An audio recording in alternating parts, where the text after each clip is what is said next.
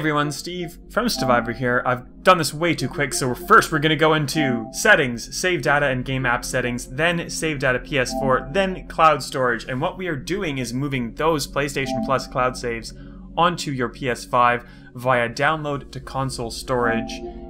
Select any of the download or the game saves rather that you'd like to uh, move across to your PS5 or you can obviously hit the select all on the far right.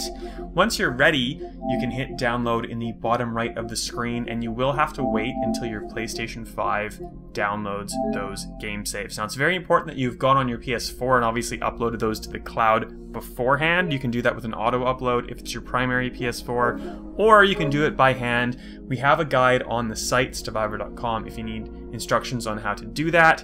And once you go and download after that process, it's a bit of playing the waiting game. But all of your backwards compatible PS4 games will be where you left them off on PS5, which is pretty cool. So uh, enjoy.